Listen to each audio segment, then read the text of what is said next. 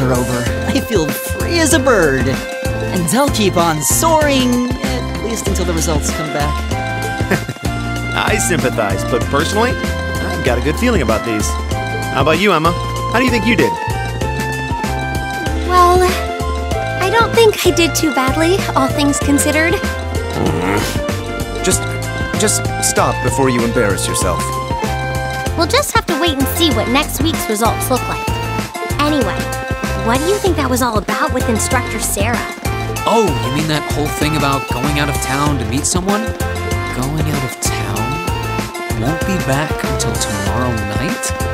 It's almost as if. She's going to meet her secret lover? Impossible. The Empire hasn't yet turned out a man desperate enough to woo that alcoholic typhoon. You have a point. I can't deny she's got the looks to snare a man, but that personality and that lifestyle. You guys are terrible! Totally agreed, though. Ouch! Not surprised to hear that from you, though, Rean. She always seems to dump the most work on you. Will you be helping the student council again tomorrow? That's the plan. Heck, I'm almost looking forward to being the student council's errand boy after holding up studying for so long. Perhaps so. Please let us know if you plan on exploring the old schoolhouse. Yeah, I'd be glad to lend a hand this time. Thanks. Better watch out, though. I might take you up on that offer. Ooh, looks like we're all up for a little exploration this time.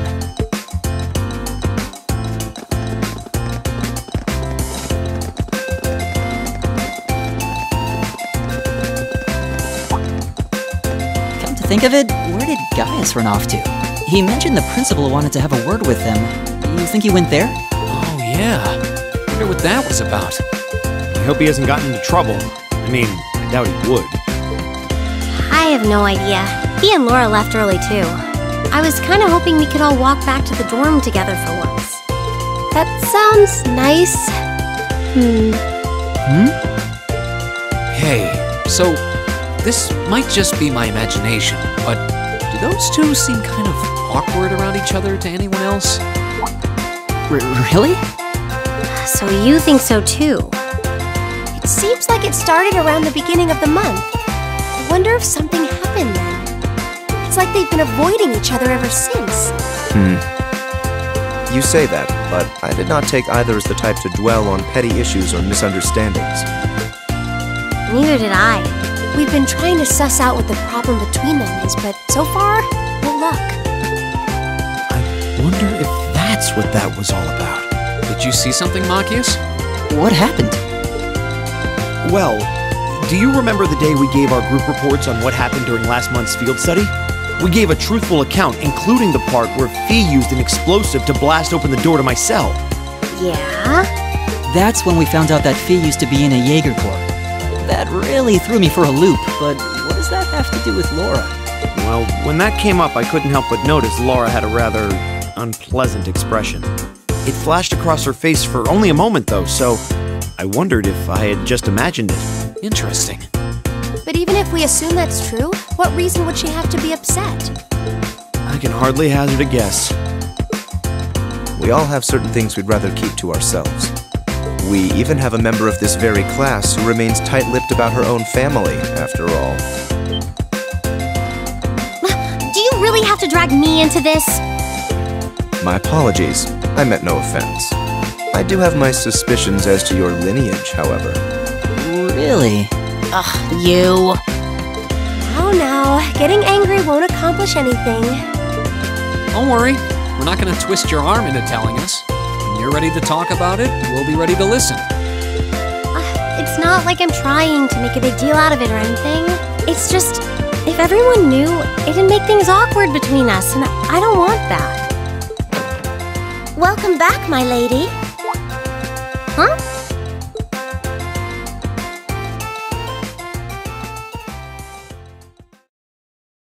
Wh- What? Sharon? It's so delightful to see you again.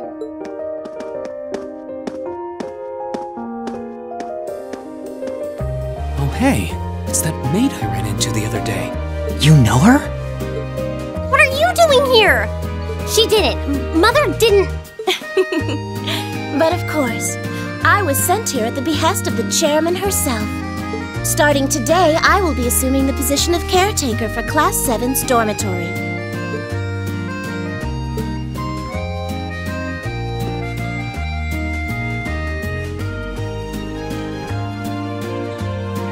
It's a pleasure to make your acquaintance, everyone. My name is Sharon Kreuger. I am a servant in the employ of the Reinford household, Lady Alisa's family. I will do all I can to be of service to you, so please keep me informed of anything you might need.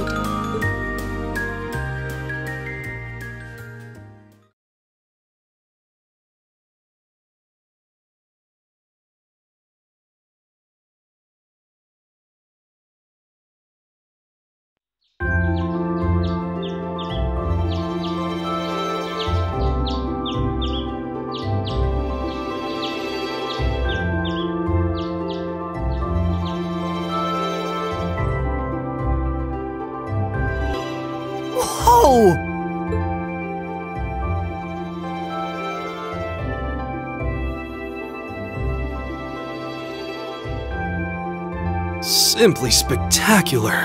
Just how many different types of food are there here? This looks more than edible. I believe this is what they call an imperial breakfast. That's right, Emma. It's a traditional Erebonian style of breakfast. I must apologize.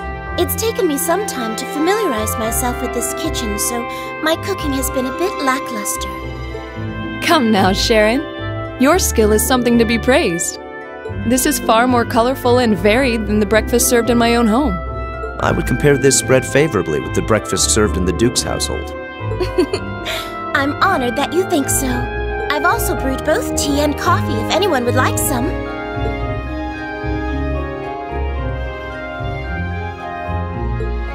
I get the feeling Alisa is less than impressed with the meal. It sounds like they had a big argument yesterday.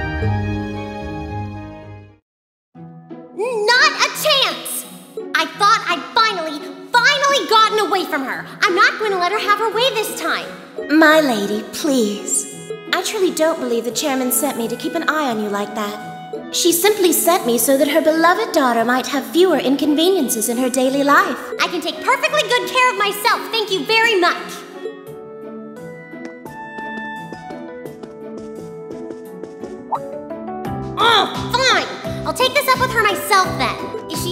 She in the office at corporate today, or is she out on inspection or something? I believe she'll be dining with the Ministry of Railways president in the capital today. After that, she'll be continuing her inspection tour, so she won't be back in Roer for another five days. Does she ever slow down? I'm surprised she doesn't burn through a pair of shoes a week. Anyway, I'm not going to take this lying down. She's stuck her nose into things one too many times. Believe that R actually stood for Alisa Reinford. And from the sound of it, her mother's the company chairman, too. Yeah, I wasn't expecting that Alisa's mom is basically in charge of the continent's biggest industrial company. Her family's probably got more money than most of the aristocracy. I can see why she'd want to keep her family under wraps, what with all the nobles here. Anyway, I object to everything about this. Considering how busy Mother is, I'm sure she needs your assistance far more than I do. I knew it. You're really concerned about her, aren't you? The way you two care so much for each other deep down is one of the reasons I'm so proud to serve you. Th- that's preposterous. Oh, my lady, I almost forgot to mention that I made plenty of your favorite apricot jam. Would you like me to spread some on your toast? Ooh, really? I mean, stop treating me like a child. Though, yes, I would like some jam. It's almost heartwarming to watch. Looks like Sharon's got her number.